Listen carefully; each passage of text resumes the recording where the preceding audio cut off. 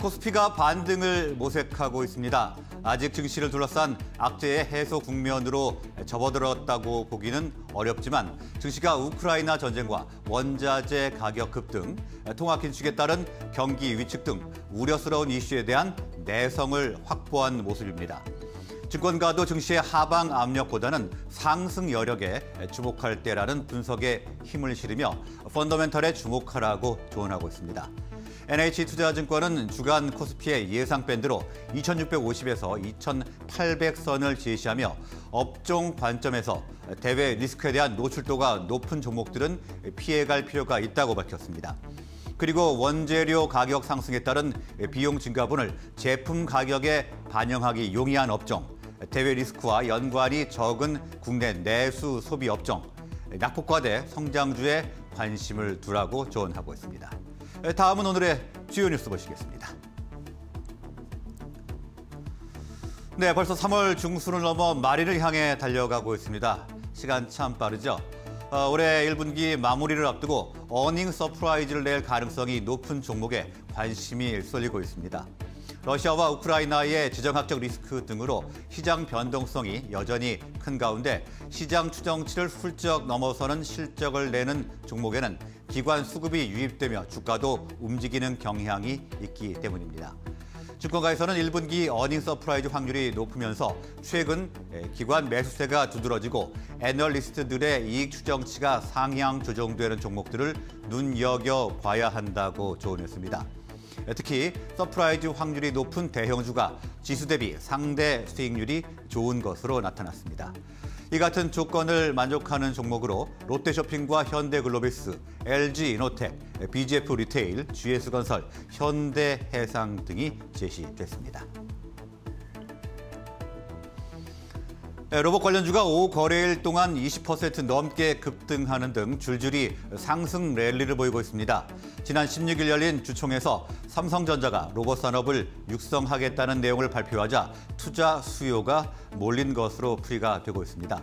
네, 집권업계 전문가들은 앞으로도 로봇 산업의 전망이 밝다고 입을 모으고 있습니다.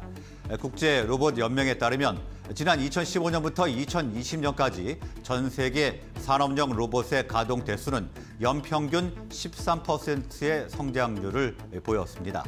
하지만 앞으로는 연평균 32%씩 성장해서 오는 2025년에는 약 211조 원을 웃도는 규모로 커질 것이라고 전망했습니다.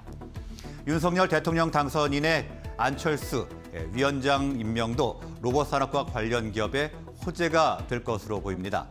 하나금융투자는 리포트에서 차기 정부는 핵심 공약 중 세계 최고 수준의 인공지능 산업 목표를 제시했다며 로봇 등 관련 산업에 대해서 적극적인 투자가 기대된다고 밝혔습니다. 자, 삼성전자에 이어서 LG전자도 러시아의 모든 제품의 선적을 중단했습니다. 러시아의 우크라이나 침공에 따른 러시아 제재 동참 여론을 의식한 조치로 풀이되고 있습니다. 하지만 이 조치는 다른 주요국들이 아예 보이콧을 하고 있는 것과는 다른 움직임입니다.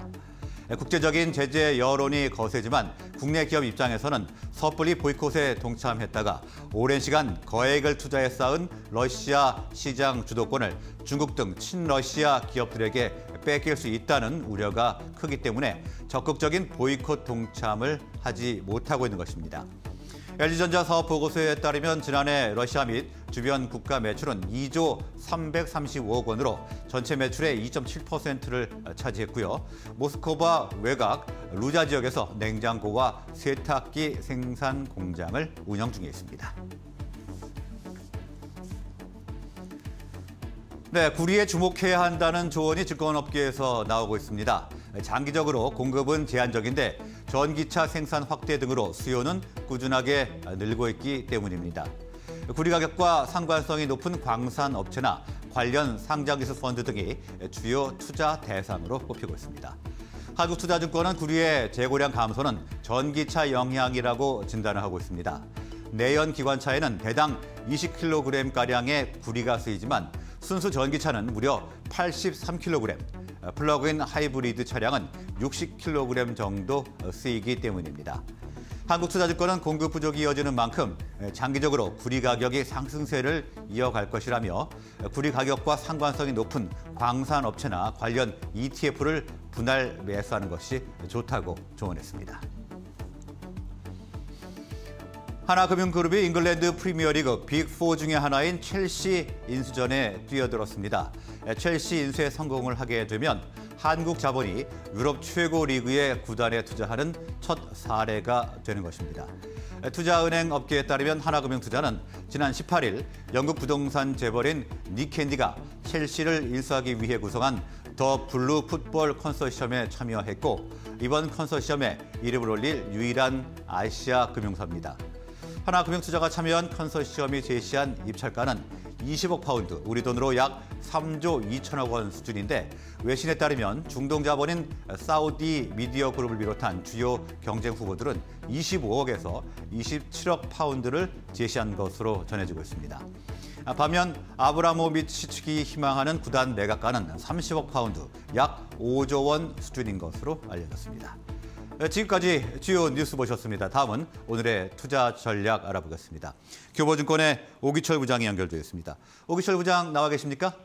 네, 안녕하십니까? 네, 안녕하십니까? 자, 오늘 어떤 이슈 주목하고 계신가요?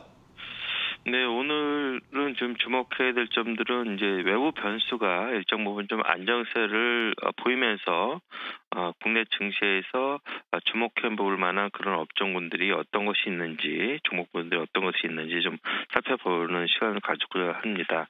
어, 지난주 가장 큰 이슈였었죠. FOMC가 좀 마무리가 되면서 어, 금리와 관련된 또 긴축과 관련된 이슈가 일정 부분 어, 어느 정도 좀 수면 아래로 좀 가라앉는 그런 모습이 시장에 좀 안정세를 좀 찾고 있는 모습이고요.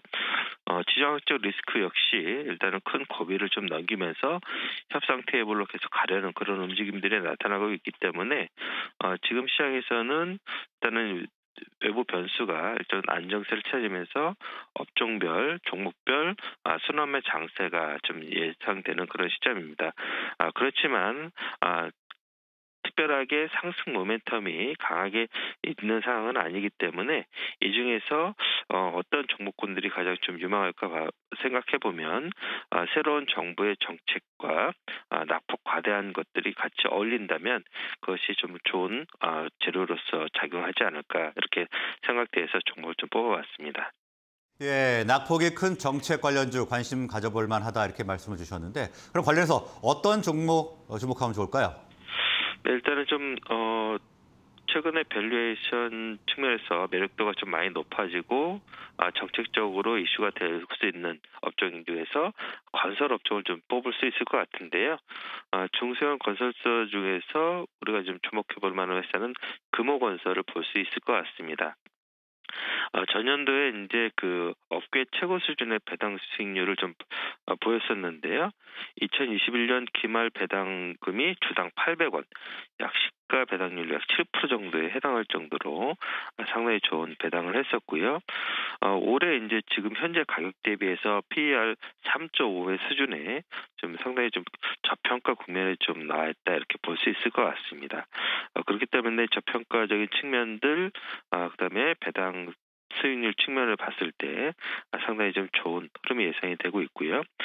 어, 누적 수족 잔고도 약 8조 2천억 정도에 해당할 정도로 상당히 풍부한 수주 잔고를 좀 기록을 하고 있습니다. 또한 향후 신도시 개발 및 주택 공급 확대에 좀 수혜가 예상되고 있고 올해 매출은 약 2조 1,800억 정도로 전년 대비해서 한 5.7%, 영업이익은 약 1,316억으로 올해 전년 대비해서 18% 정도 좀 증가를 할 것으로 예상이 되고 있습니다. 어, 최근에 주가 흐름은 약간 좀 어, 만 원대 초반대에서 만천 원대까지 흐름이 좋았지만 어, 주가 흐름은 좀 더 우상향할 수 있는 어, 여지가 충분히 있다고 좀 보여져서 일단은 구모건설 관심을 갖고 접근하신 전략이 유효할 것으로 보입니다.